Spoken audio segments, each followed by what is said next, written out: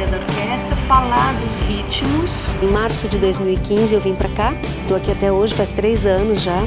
Estou adorando e trabalhando com muita dedicação por parte de todos os envolvidos, que temos como objetivo maior fazer com que a escola tenha cada vez mais excelência.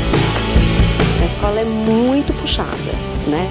A gente tem quatro horas de aula por dia, durante todos os dias, né, de segunda a sexta. Não tem choro nem vela, não pode atrasar, não pode faltar, tem que fazer trabalho, né?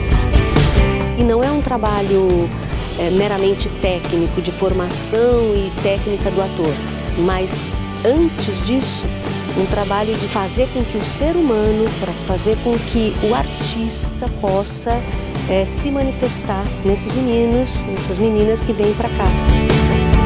A gente nota uma transformação muito grande da pessoa, do ser humano e, claro, do artista, desde quando ele entra até quando ele sai. A gente nota até fisicamente assim um amadurecimento muito grande, é bastante motivador para nós percebermos a diferença que faz na vida das pessoas a passagem da escola pela vida delas.